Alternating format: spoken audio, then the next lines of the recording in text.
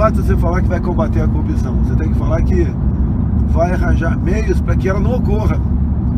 No Brasil falta muito é a capacidade para se antecipar a problemas. Agora, essa corrupção, a gente sabe que vai acontecer. Quando um partido pega, como o meu do passado pegou a diretoria da Petrobras, ele sabia que, qual é a intenção.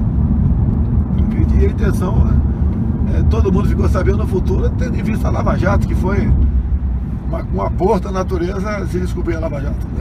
Nasceu do nada, né? Ninguém esperava que um, um plano tão gigantesco como esse, tão bilionário, fosse se tornar público. Você vai, caiu na mão do Sérgio Moro. Olha só o azar do PT. O Sérgio Moro trabalhou com, não sei qual foi a ministra do Supremo no passado, na questão, acho que do mensalão, se não me engano. E ele foi indicado para ser um possível ministro do Supremo. Isso. E o PT pegou e não, não, não quero. Trabalhou com a Rosa Verta. Foi com a Rosa Verta, aí não quero, né? E daí o que acontece? Ele ficou na 13 terceira vara. Se fosse um outro juiz, poderia ser que não acontecesse isso. Então, resumo da história para o PT, né? As ironias do destino.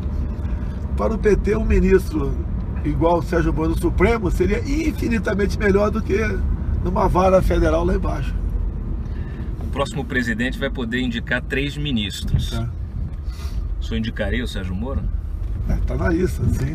Parte desse ministro foi indicado pelo, pelo critério ideológico. E daí você vê esse arranca-rabo todo que está aí, mano.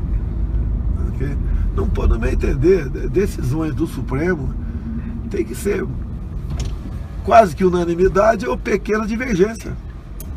Porque afinal de contas você está tá, tá interpretando a Constituição. O que, que o senhor achou dessa última.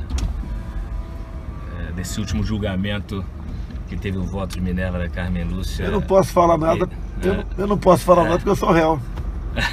E o meu caso, pelo amor de Deus, né, cara? Pelo, pelo amor de Deus, né? E, o que, e aí é um julgamento político meu. Eu acho que o Supremo, quando for julgar qualquer parlamentar, não tem que ser turma.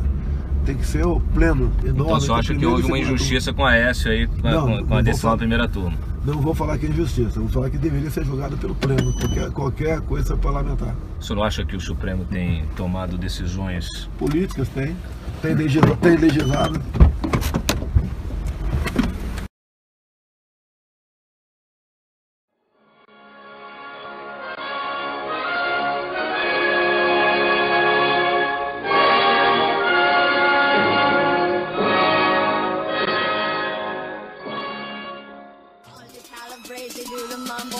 crazy.